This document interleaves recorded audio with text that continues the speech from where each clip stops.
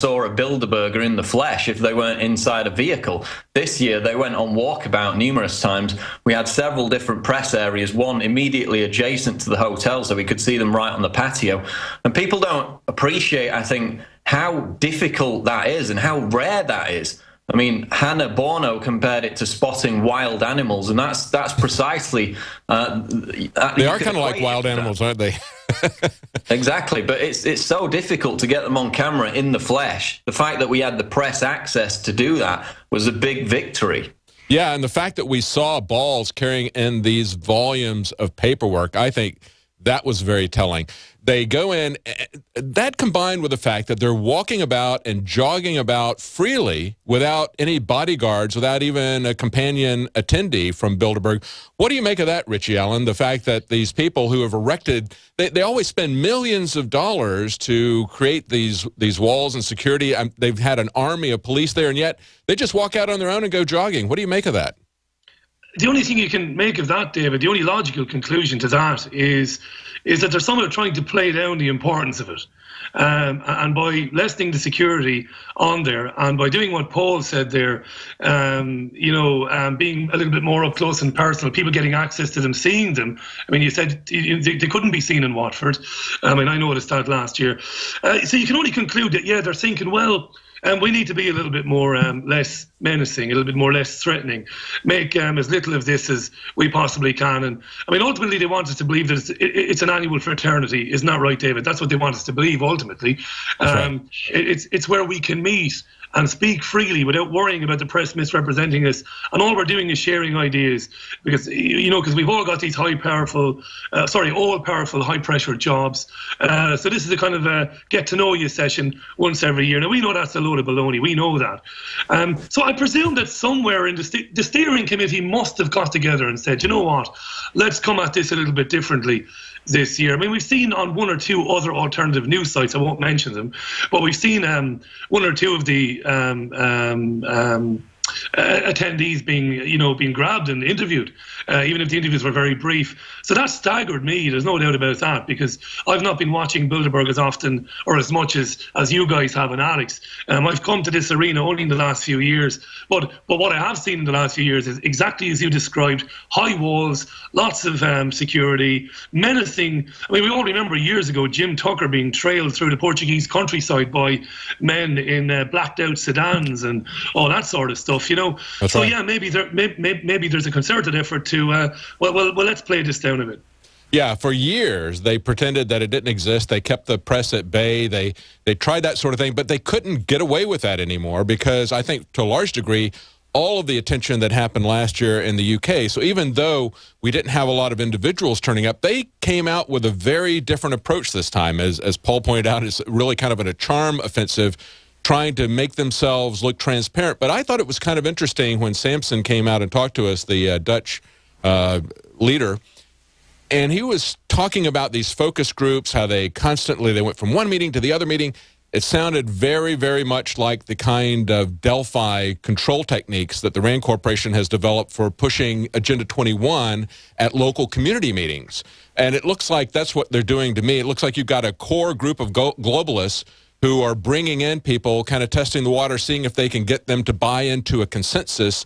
And then if they do, they bring them on to additional meetings, uh, a trilateral commission meeting, a Council on Foreign Relation meeting, creating these kinds of relationships that allow them to essentially pull people into a kind of a phony consensus. Would you say that's what you what's happening? I, certainly, there's not some leader of the I'll world that's sitting there. David.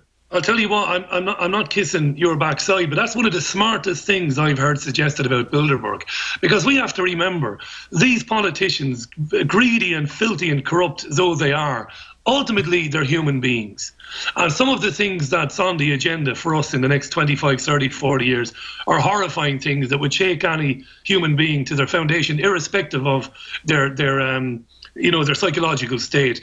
So it makes perfect sense to me that there's some sort of indoctrination going on there. Mm-hmm. There's no doubt about that. Yeah, bringing these people in, um, I wouldn't use the word brainwashing them, but yeah, browbeating them with um, with ideas and getting yeah. them to come around to ideas that that ordinarily, if they were with their families, their wives, their girlfriends, their husbands, they wouldn't do. Hang on, we got Richie Allen with us, as well as Paul Joseph Watson from the UK. We're talking about how Bilderberg changed this year. We're going to be right back after the break. Stay with us. It's all about building consensus, and these people control a lot of assets. How long Stay would tuned. you last if all grocery stores ceased to exist? Not in America. This can't happen in America. Because of my concern about our government, I was looking at survival stuff. I was raised as a Girl Scout, and their motto was to be prepared. Food for Patriots was an opportunity for me to be able to put some things aside. I said, well, this is a product worth having, seeing as it's so good. Like the pricing for what I got. I like the containers they were shipped in. They keep in touch with you. You get your emails, you get your confirmations. The customer service is just absolutely fantastic plan on buying probably about uh, four more of these minimum. And it just came so quick. It came right when they said it would come. Thanks for supplying all this stuff for us because I think we're all going to be needing it in a very short time. Join over 50,000 Americans who have trusted food for patriots. Go to getsurvivalfood.com to learn more. That's getsurvivalfood.com. Big business has discovered the preparedness market, and that makes it difficult to know where to go and who to trust. MyPatriotSupply.com is owned and operated by patriots just like you. Has the best prices on storable food, non-GMO seeds, water filtration devices, home canning equipment, survival and self-reliance books, and more. MyPatriotSupply.com has old-fashioned values and the absolute best customer service in the industry. Look for the deal of the day. Unique, affordable survival survival supplies that fit anyone's budget. Get same day shipping on all orders and free shipping on orders over $49.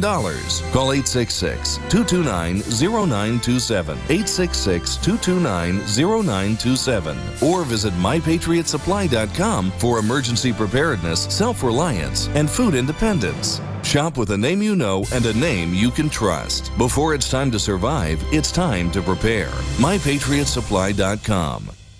The human body is extraordinary. Despite all the stresses we inflict upon it, it still works hard to stay in balance. Thousands upon thousands of people rely upon Heart and Body Extract to help their body stay balanced. This excellent 100% natural herbal formula helps maintain healthy blood pressure levels, cleans arteries, promotes good circulation, balances cholesterol, and more. HB Extract, paired with healthy lifestyle choices like good nutrition and exercise, can give you a life free of pain, sickness, and fear. Recapture your youthful vitality and experience your body healing itself with the aid of HB Extract. It's extremely effective and it starts working in just days.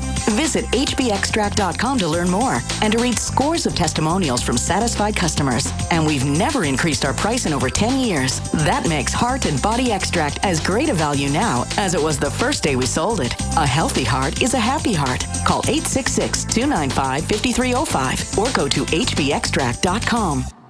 I don't know what it is. Ralph just won't pay any attention to me. When he comes home from work, all he ever does is play video games and go to sleep. It's like I don't even exist. Oh, Betty, that's just awful. Does this seem familiar? If the answer to this question is yes, then listen carefully. Toxic pesticides, GMO foods and additives, BPA plastics, contaminated water supplies. Many of these toxic additives are deliberately engineered to attack and weaken human masculinity. It's part of the eugenics population control movement. Look it up. If men are more interested in in online gaming than they are in their wives. A serious population crisis is soon to follow. Energize the man in your life with Super Male Vitality from InfoWarsLife.com. It's designed to aid the body in ways that help invigorate your natural systems without artificial testosterone, completely free of GMOs, harmful additives, gluten, and is made right here in the USA. Get your Super Male Vitality right now at InfoWarsLife.com or call 1 888 253 3139.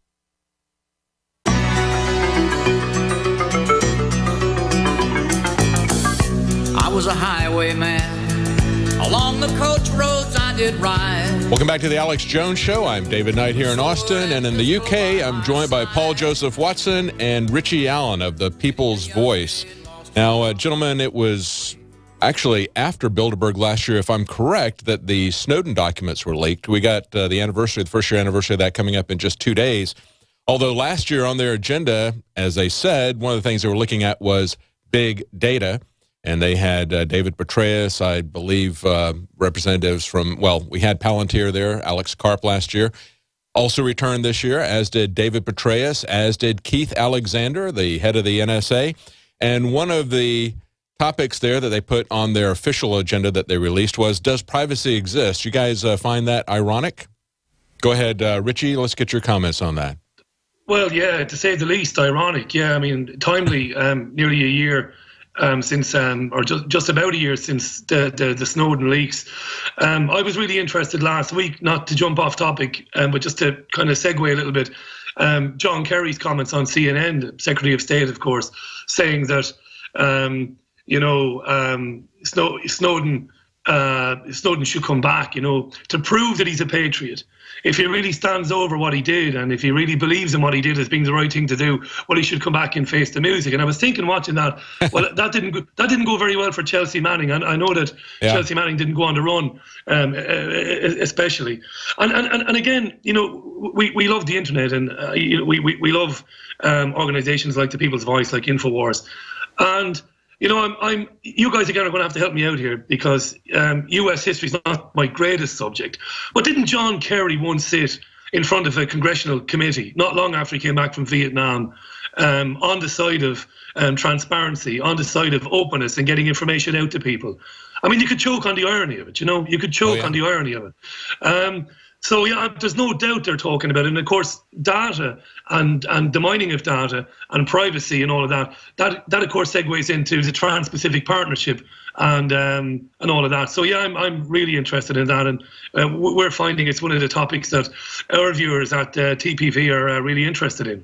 Yeah, I want to talk about. We don't have much time in this segment, but I do want to talk about the Trans-Pacific Partnership, the Transatlantic Partnership, how that reflects uh, what they planned for a long time. But but Paul, when we talk about them asking if privacy exists, I, I think when we look at that film of Ed Balls coming in with massive amounts of data on paper, on printed paper, they understand because they're the ones that have created this environment that you don't have any electronic privacy. I think, to me, I look at them and the fact that they were just roaming around freely in the area. What they really were protecting was the anonymity and the discussions in their meetings. They weren't protecting the attendees. They were protecting the meetings, the information that they were exchanging face to face on paper documents in a hotel that had been evacuated days in advance and screened for any kind of electronic listening devices. What would you say? Well, that's right. They're protecting the information. That's why none of them will talk about what they discussed. You know, they'll talk about there being intensive meetings non-stop. And as you mentioned before the break, it is kind of like a cult for the global elite. You could compare it to the TED conference, which about a year ago it came out from some members of that who were invited along that it is a kind of cult. They're ordered which people to room with. They're ordered on how to treat people when they meet them, and it's it's very insidious. And I think that a similar kind of thing takes place at Bilderberg. Of course, we know they have these big presentations, then they have the smaller sub conference groups. Certain people are allowed into those conferences, certain people aren't. Mm-hmm. So it is a kind of access cult. And we even have pictures of certain Bilderberg members who seem to be ostracized from the rest of the group as they're out on the patio having cocktails. So it's very much an elite within an elite. Most of the Bilderberg members probably aren't even aware of the inner core and what they actually want. They're just being groomed to potentially go up the ladder at a later date. But with regard to privacy, I mean, look at Eric Schmidt. I mean, he's there every year. What did he say? Quote, if you have something that you don't want anyone to know, maybe you shouldn't be doing it in the first place. Yeah, so I think is the guy. I think Eric Schmidt could probably answer that question. I think Eric Schmidt could probably answer that question for him pretty definitively, don't you think, uh, Paul? Well, exactly. And that does privacy exist and these are the people who are talking about it. They, yeah. they want to destroy privacy. It's not it's not how to rescue it it's how to eviscerate it to an even greater degree. That's what they're discussing because exactly. their history their quotes tell us that. Exactly. Yeah so you got people asking if there's any privacy left so they can squash it because we've got google's eric schmidt we've got uh, david petraeus from the uh, cia we've got We've got Keith Alexander from the NSA. We've got Alex Karp from Palantir, who is there to data mine what these other guys steal, all the information they steal about everybody, and try to create relationships from it. That's essentially what Palantir is about. I think one of the most important things that can come out of this, besides getting people to understand this is actually going on, is how the how their structure is, what their plan is for the world. And I think we see what David Rockefeller's goals were, what he stated back in 1973 when he created the Trilateral Commission. We see that now coming to fruition in these uh, transatlantic uh, trade partnership agreements, also the Trans Pacific partnership agreements.